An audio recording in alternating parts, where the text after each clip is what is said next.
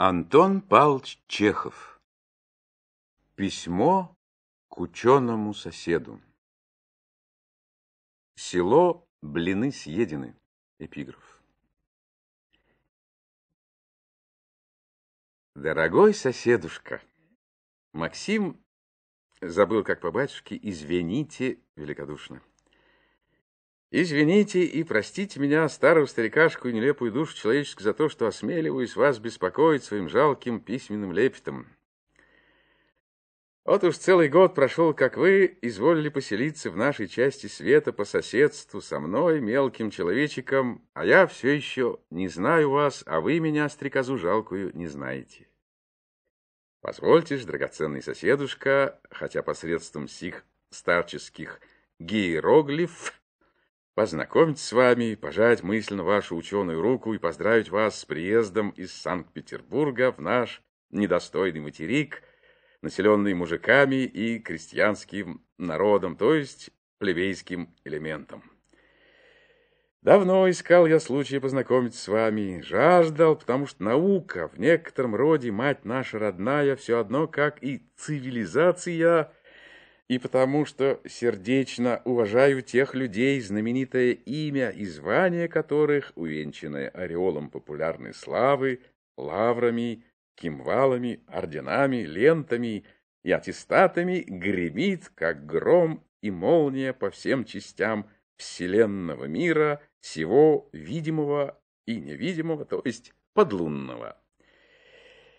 Я пламенно люблю астрономов, поэтов, метафизиков, приват-доцентов, химиков и других жрецов науки, которым вы себя причисляете через свои умные факты и отрасли наук, то есть продукты и плоды. Говорят, что вы много книг напечатали во время умственного сидения с трубами, градусниками и кучей заграничных книг с заманчивыми рисунками.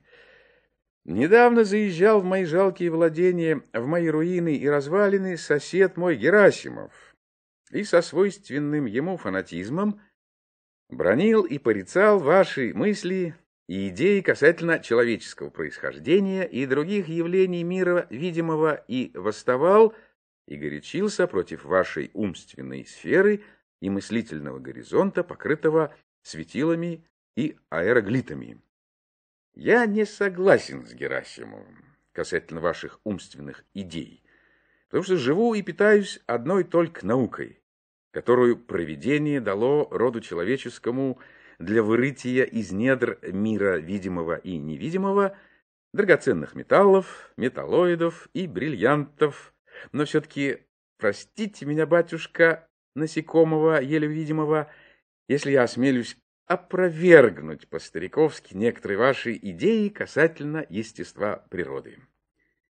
Герасимов сообщил мне, что будто вы сочинили сочинение, в котором изволили изложить не весьма существенные идеи насчет людей и их первородного состояния и допотопного бытия. Вы изволили сочинить, что человек произошел от обезьянских племен, мартышек и орангуташек и тому подобное. Простите меня, старичка, но я с вами касательно этого важного пункта не согласен и могу вам запятую поставить. Ибо если бы человек, властитель мира, умнейший из дыхательных существ, происходил от глупой и невежественной обезьяны, то у него был бы хвост и дикий голос. Если бы мы происходили от обезьян, то нас теперь водили бы по городам цыганы на показ, и мы платили бы деньги за показ друг друга, танцуя по приказу цыгана или сидя за решеткой в зверинце. Разве мы покрыты кругом шерстью? Разве мы не носим одеяний, коих лишены обезьяны? Разве мы любили бы и не презирали бы женщину, если бы от нее хоть немножко пахло бы обезьяной, которую мы каждый вторник видим у предводителя дворянства. Если бы наши прародители происходили от обезьян, то их не похоронили бы на христианском кладбище.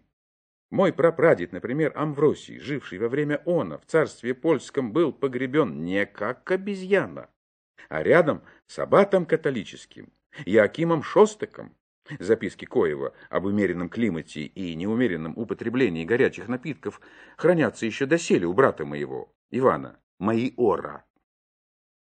Аббат значит католический поп. Изве нити меня неука за то, что ме шаюсь в ваши ученые дела и толкую по-своему, постарчески, и навязываю вам свои дикобразные и какие-то аляповатые идеи, которые у ученых и цивилизованных людей скорее помещаются в животе, чем в голове. Не могу умолчать и не терплю, когда ученые неправильно мыслят в уме своем, и не могу не возразить вам. Герасимов сообщил мне, что вы неправильно мыслите об Луне, ну, то есть об месяце, который заменяет нам Солнце в часы мрака и темноты, когда люди спят. А вы проводите электричество с места на место и фантазируете. Не смейтесь над стариком за то, что так глупо пишу. Вы пишете, что на Луне, то есть на месяце, живут и обитают люди и племена. Этого не может быть никогда, потому что если бы люди жили на Луне, то заслоняли бы для нас магический и волшебный свет ее своими домами и тучными пастбищами. Без дождика люди не могут жить, а дождь идет вниз, на землю, а не вверх на луну. Люди, живя на луне, падали бы вниз на землю, а этого не бывает. Нечистоты и помои сыпались бы на наш материк с населенной луны. Могут ли люди жить на луне, если она существует только ночью, а днем исчезает? И правительства не могут дозволить жить на Луне, потому что на ней по причине далекого расстояния и недосягаемости ее можно укрываться от повинностей очень легко. Вы немножко ошиблись. Вы сочинили и напечатали в своем умном сочинении, как сказал мне Герасимов, что будто бы на самом величайшем светиле, на солнце, есть черные пятнушки. Этого не может быть, потому что этого не может быть никогда. Как вы могли видеть на солнце пятны, если на солнце нельзя глядеть простыми человеческими глазами? И для чего на нем пятны, если и без них можно обойтиться? Из какого мокрого тела сделаны эти самые пятны, если они не сгорают?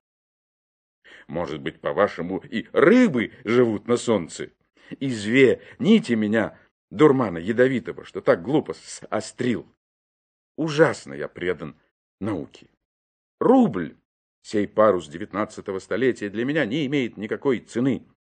Наука его заменила у моих глаз своими дальнейшими крылами. Всякое открытие терзает меня, как гвоздик в спине.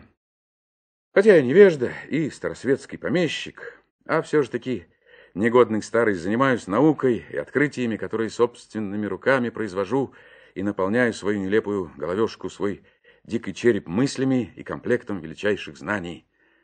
«Матушка, природа» есть книга, которую надо читать и видеть. Я много произвел открытий своим собственным умом, таких открытий, каких еще ни один реформатор не изобретал. Скажу без хвастовства, что я не из последних касательно образованности, добытой мозолями, а не богатством родителей, то есть отца и матери или опекунов, которые часто губят детей своих посредством богатства, роскоши и шестиэтажных жилищ с невольниками и электрическими позвонками. Вот что мой грошовый ум открыл.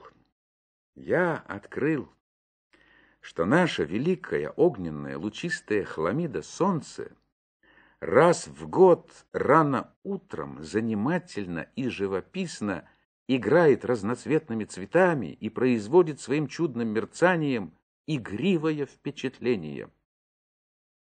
Другое открытие. Отчего зимою день короткий, а ночь длинная, а летом наоборот?